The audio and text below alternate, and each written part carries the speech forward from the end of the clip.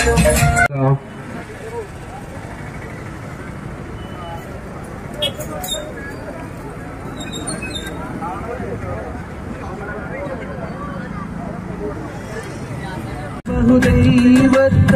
പണിടുന്ന കാലഘട്ടം വീരമുഴുവൻ പൂവിൻ മധു കാണുമ്പോൾ കടലിനെ കുളിച്ചു